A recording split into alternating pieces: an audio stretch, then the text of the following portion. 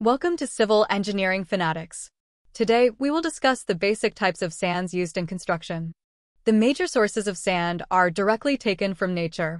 Due to their scarcity, we humans convert other resources in nature or certain byproducts of construction into artificial sand. Hence, we have natural sources of sand and man-made sources. Natural sources of sand. The natural sources of sand are 1. Pit sand, Pit sands are sands obtained from pits created 1 to 2 m below the ground level.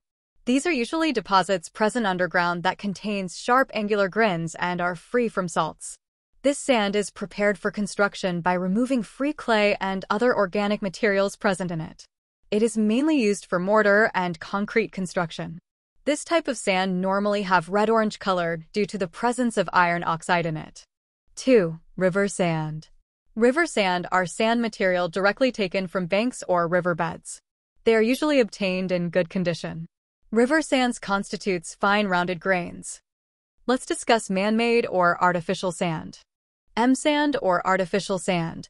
M-sand, also known as manufactured sand, is a type of sand produced through crushing rocks or aggregates into sand-sized particles. It is a viable alternative to natural river sand in construction and industrial applications. M-sand is made primarily from hard granite, limestone, or basalt rocks that are crushed into sand-sized particles. The crushing process ensures the sand has consistent and angular grains.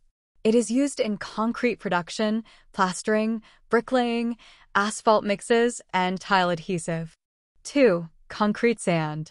Concrete sand, also known as utility sand, pipe sand, manufactured sand, or paver sand is an aggregate sand composed of gneiss, trap rock, limestone, or granite. The materials are crushed in quarry, washed and screened for higher quality to avoid large aggregate particles and lay with fine aggregate size range. It is used for pipelaying bed, subgrade for pools, patios, walkways, etc., especially for concrete paving types. 3. Mason sand.